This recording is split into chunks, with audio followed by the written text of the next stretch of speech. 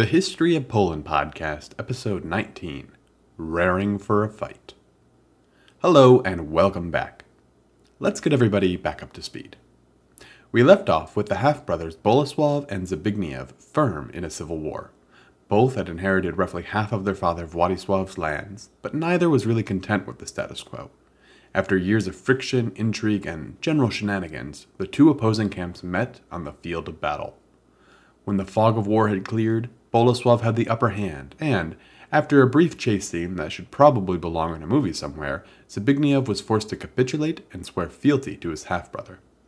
Zbigniew retained control over the area of Mazovia, but as a servant of Bolesław's, not in his own right. This could have been the beginning of an era of peace and stability. Imagine it Poland, united under the benevolent rule of two brothers, both putting the interests of the people above their own vanity and ego. What could have been? It was not to be, though. No, this peace was not to last for very long at all. After all, this is Poland in the 12th century. Things don't calm down for more than a couple weeks at a time. Before we jump into what happens next, let's recap a few key pieces of information. First, Boleslav has for many years now been trying to conquer Pomerania. Access to the sea would have been a major economic boon for Boleslav and quite the feather in the cap of his reign. Yet, despite his desire to conquer these lands, he was stymied at every turn by his half brother Zbigniew. Maybe that will change now that Zbigniew is out of the way. Maybe Zbigniew will even help as his oath of fealty demands. Second, Boleslav had a few stable alliances. The primary one was with King Koloman of Hungary. Boleslav called on this alliance when fighting against Zbigniew. In exchange, Koloman had the right to call upon Boleslav in the event he was endangered. This may come in handy for Koloman in the near future. That's called foreshadowing. Third and finally, Zbigniew had a decent enough relationship with both the Emperor of the Holy Roman Empire and the Bohemian rulers. These hadn't proved useful in the battles with his half brother, but the ties were still there. This is also called foreshadowing. These loosely related facts are the basis of what's about to happen in a very short period of time. It starts, like so many things in the history of Poland, with an attempted invasion of Pomerania. One last bit of background that I don't think I've mentioned in the past. Pomerania is continuously described as a swamp area, which is a big part of why it has been so difficult for Boleslav and other leaders to conquer it, retain control after defeating their enemies, or for Pomerania to be fully Christianized. Anyway, as Gallus tells us about this invasion of Pomerania, quote, It was winter when the Poles gathered again to invade Pomerania, for they could more easily seize the strongholds once the marshes had frozen. Then again, Boleslav discovered Zbigniew's treachery when it was revealed openly that he had broken his oath in all matters he had sworn to. So, Zbigniew may have sworn fealty to Boleslav, but that apparently didn't really mean much. Boleslav had expected Zbigniew to tear down one of his castles and also to come help Boleslav if called upon. Zbigniew did neither. While Boleslav could have gotten riled up by this and gone to attack Zbigniew immediately, he chose to temporarily ignore the slight and continue on into Pomerania with the forces he did have. Gallus continues on, telling us that, quote, like a fire breathing dragon that burns down everything nearby by its breath alone, and demolishes what is not burnt with the sweep of its tail, and flies across the lands bringing destruction, so Boleslav threw himself against Pomerania, destroying the rebels with the sword and their strongholds with fire. But let us pass over what he did as he crossed and recrossed their land, and proceed to the siege of Alba, a city in the middle of the land. When Boleslav reached the city, held to be the very center of the land, he pitched camp and made ready siege engines, in order to capture the city the more easily and with the less danger. When they were ready, he plied arms and engines without cease, so that in a few days he forced the townsmen to surrender the city. Having received it, he installed his troops there. He then raised his banners, struck camp, and set off towards the coast. Boleslav has taken the city of Alba, which was about 30 kilometers away from the coastline. From there, Gallus tells us that he headed off to the city of Kołobrzeg, which is on the coast. After this 30 kilometer trek, Boleslav apparently contemplated storming the fortress by the sea, when, quote, the citizens and their townsmen came out to meet him with necks bowed, surrendering their persons and vowing their loyalty and service. And the Duke of the Pomeranians himself came to Boleslav and bowed before him, and pledged to serve and fight for him who sat on horseback. Following this, Gallus tells us that, quote, for five weeks, Boleslav rode through Pomerania, expecting or seeking battle, and brought almost the whole of the kingdom under his sway without a fight. with such titles of glory is Boleslav to be praised, with such triumphs of war and victories to be crowned. So, Boleslav is wreaking havoc in Pomerania without the help of his brother. If you're thinking that Boleslav is going to turn the other cheek and just let Zbigniew get away with failing to live up to his obligations, well, you just don't know Boleslav. Again, Gallus tells us that, quote, so Boleslav, on seeing that his brother had shown himself faithless in every promise and every oath, and since he set himself ever against the whole land, harmful and liable to harm, he banished him from the entire realm of Poland. By Zbigniew. Gallus continues on, saying, When resistance was offered by the defenders of a castle on the borders of the country, he seized the castle with the help of the Ruthenians and the Hungarians. Thus was brought to end the lordship of Zbigniew's evil counselors, and the whole realm of Poland was united under Boleslav's lordship. And whereas for many to achieve this much in the winter session would have been labor enough, Boleslav thought nothing too arduous where he knew the profit or the honor of his kingdom was being increased. With Zbigniew gone, Boleslav was essentially given free rein in Pomerania. As Manteuffel's book, The Formation of a Polish State, tells it, quote, Zbigniew's expulsion permitted Boleslav to undertake a systematic expansion toward the sea, a movement which up until this time had been repeatedly interrupted because of domestic problems. Boleslav still required a stronger military force to conduct his campaign and to secure bases of operation on the Noteć and Vistula. He could then concentrate his attack on both central Pomerania and the area of the Vistula Basin, a campaign was launched against the cities, which defended the access routes through the swamps of the Noteć area, and pitched battles were fought with fluctuating success. The Pomeranians penetrated deep into Boleslav's territory several times, and during one such incursion nearly captured Archbishop Martin. Boleslav retaliated in kind. With Mazovia under his control, he broadened his plan of annexing the coastal area by expanding his attack to include the lands inhabited by the Prussians, whom he first attacked in winter of 1107. Most of Boleslav's problems are solved, right? First, Zbigniew has been expelled. Second, Boleslav is now master of Pomerania. Third, he has some stable alliances in case he finds himself in trouble. A great combination. Eh, not quite. First, Zbigniew wasn't just going to roll over and let Boleslav keep Poland without resistance. Sure, he was expelled, but as I mentioned in the beginning of this episode, he had allies in both the Empire and Bohemia. Second, the Pomeranians would have strongly disagreed with the idea of Boleslav being master of Pomerania. Yeah, they, they'd lost it in battle a handful of times, but they weren't just going to give up the fight. Third, those alliances that Boleslav had relied on in the past were now going to be flipped around, with his allies now relying on him to help solve their problems. As I mentioned in the beginning of this episode, Boleslav had a mutual protection treaty with Koloman of Hungary, this treaty came into effect when Emperor Henry V launched an invasion of Hungary in 1108 in an effort to bring imperial might to bear on behalf of one of Koloman's rivals. The invasion had Henry's army facing off against Koloman's, with Henry's ally Svatopolk also invading Hungary. This two-pronged assault was to be met by a two-pronged defense. Koloman would face Henry, while Boleslav was tasked with drawing off Svatopolk. As such, Boleslav invaded Bohemia, hoping that it would force Svatopolk to retreat from Hungary and defend his home territory.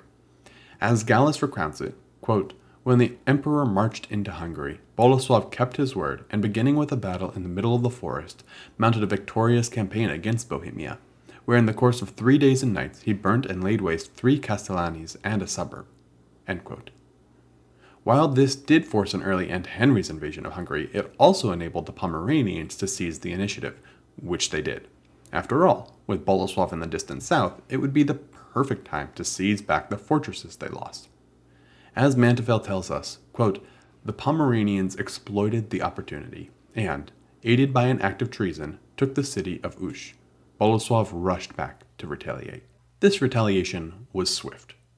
As Gallus tells us, quote, Boleslav gave his horses and his men some little time to rest, and after again making his forces ready for war, he prepared to march back into Pomerania. As he entered the territory of the enemy, he did not go after plunder or cattle, but laid siege to the castle of Vielen, making ready engines and devices of different kinds. In response, the townsmen, fearing for their lives and placing their hopes in arms alone, speedily raised battlements, repaired damaged ones, hauled up sharpened stakes and stones, and barricaded the gates. Once the machines were ready and everyone armed, the Poles attacked the castle valiantly from all sides, while the Pomeranians defended it with no less vigor. The Poles pressed on so strongly from a sense of justice and desire for victory, the Pomeranians resisted out of natural treachery and self preservation. The Poles sought glory, the Pomeranians were defending their liberty. But in the end, the Pomeranians, exhausted by their ceaseless efforts and lack of sleep, began to think that they could not resist a force of such strength. Abandoning their previous lofty pride, they surrendered themselves and their castle after receiving Bolesław's gauntlet as a pledge. But the Poles, unable to forget their many toils, their many dead, the bitter winters, the repeated treachery and ambushes, killed them to a man, sparing no one, and refusing to listen even to Bolesław when he tried to stop them. And so little by little, the rebellious and stiff-necked Pomeranians were destroyed by Bolesław, paying the rightful price for perfidy. The fortress he thought it better to retain, so he fortified it with necessities and placed his men in it. The Pomeranians were defeated once again, but you have to expect that they aren't exactly thrilled with Bolesław or the Poles.